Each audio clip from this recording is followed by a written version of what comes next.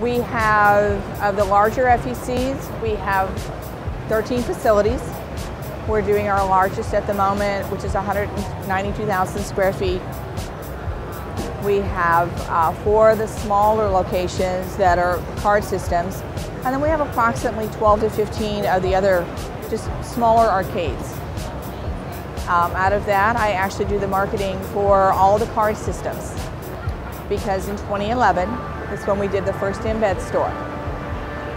And that's uh, the company that we chose. I had great teachers in embed that took the time, took the patience for the questions that I had. It's like, we want to do this, so how do I get this done?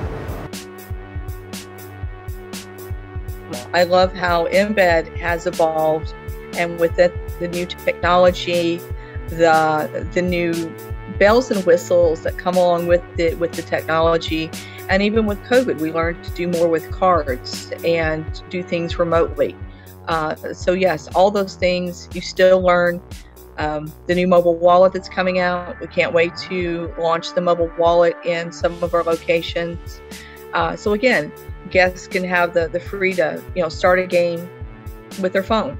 They can reload from their phone. So again, it just takes a, a different aspect with it. And so it's not all touchy feely anymore. The exciting part was when we actually transitioned all of our locations, with the exception of one, over to Toolkit. So we're trying to get uniform throughout the company uh, with the cards, the way that the screens flow.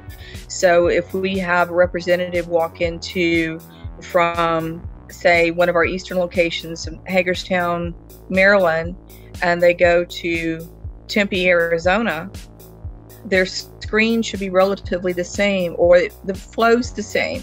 So it helps us, those that travel around, so you're not having to try to relearn a system when you walk into a different location. Reporting is the breeze. I love the reports, the way that um, it's now done.